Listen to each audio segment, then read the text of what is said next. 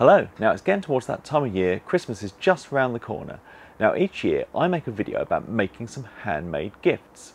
This year I'm going to make some based on games. Now my family are big into playing cards at Christmas, so I've got a couple of packs.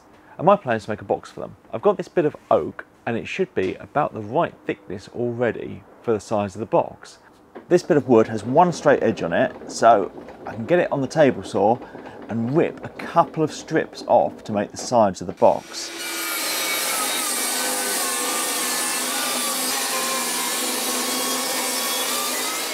So I think I said I was going to rip two strips, but actually one is going to be big enough to do all four sides for this. So now I need to cut it to some miters. I'm going to cut the miters on the table saw using this little Trend digital level box that just snaps on magnetically and then I can tilt the blade over to 45 degrees. I'm going to use the miter gauge to cut the first 45 degree angle. With that done, I can then use the cards to mark out where the next one needs to go and keep cutting all four sides.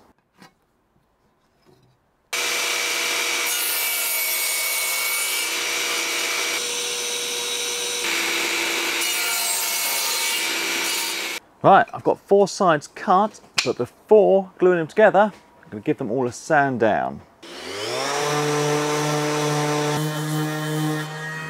I can now get some PVA wood glue, put onto the joints and spread out, and this thing put together. Now to hold it together, I'm going to use some of these Collins clamps. I love these, and there's a link to them down below on the tools I use page. Then I've just got to leave it to dry.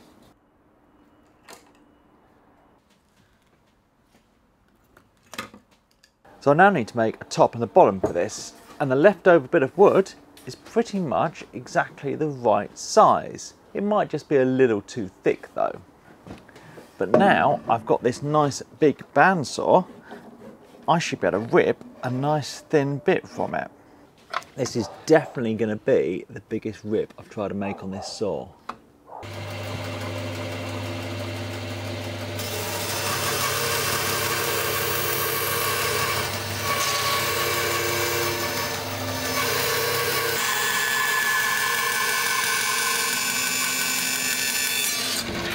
So as I say, that's the biggest bit of wood I've resawed on that bandsaw, and I'm so impressed to be able to resaw something that thick so quickly and so accurately. I'm very pleased. Uh, it's a pretty clean cut, but I can give it all a sand down before installing it. I gave this all a couple of hours to dry. Now I can get the clamps removed. So I need to cut this panel to go for the top and the bottom. So I'm going to use the box to set up the stop on the miter gauge, then I can get a couple of bits cut.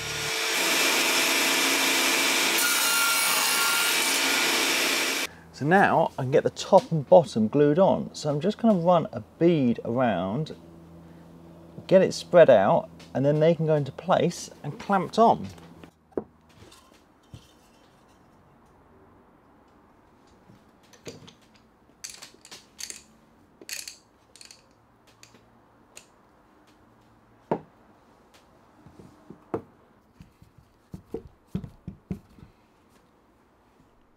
I left this all overnight to dry and now it's a horrible cold wet day.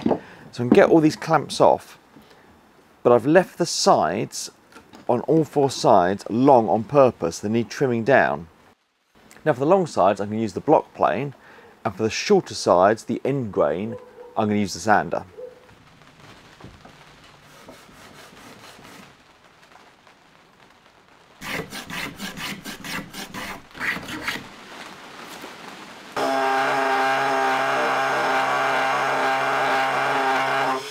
sanded down, but I fancy adding a round over to the top and the bottom. So I'm going to get my little 12 volt Bosch router out and add one.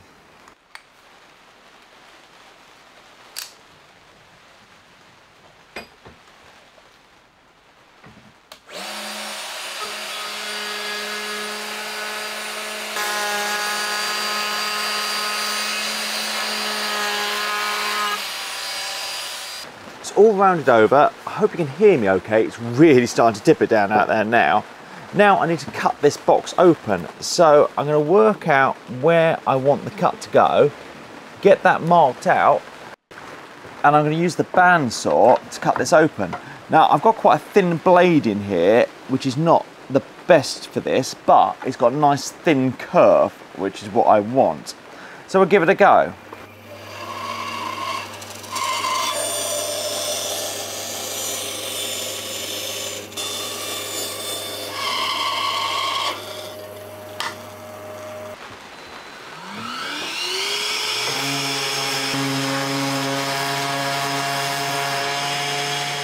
The cards fit in the box now, but I think it'd be nice to have a little divider between them. So I have a little strip left over from making the box, so I'm just going to get that cut down to size on the table saw.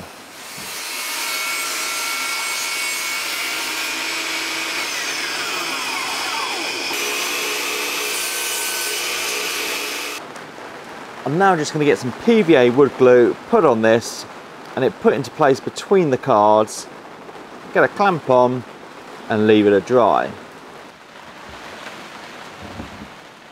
The glue's dried on this, so now I can get the clamps taken off and get some finish applied.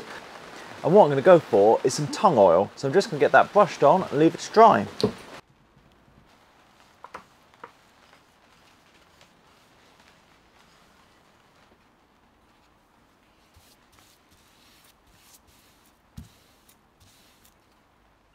The finish is now dry on the box, so now I need to get the two halves attached together.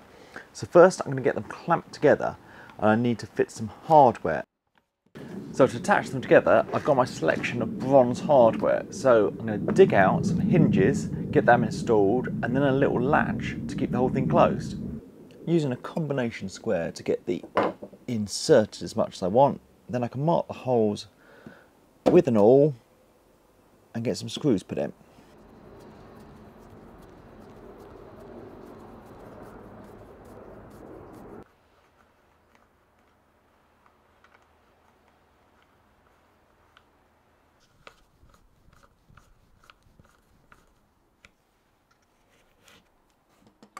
So that's it all done. Nice little handmade gift ready for some card games over Christmas with the family.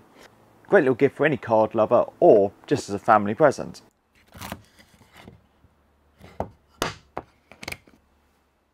Now my plan was to make a second item, something a bit simpler for the younger children in the family to play.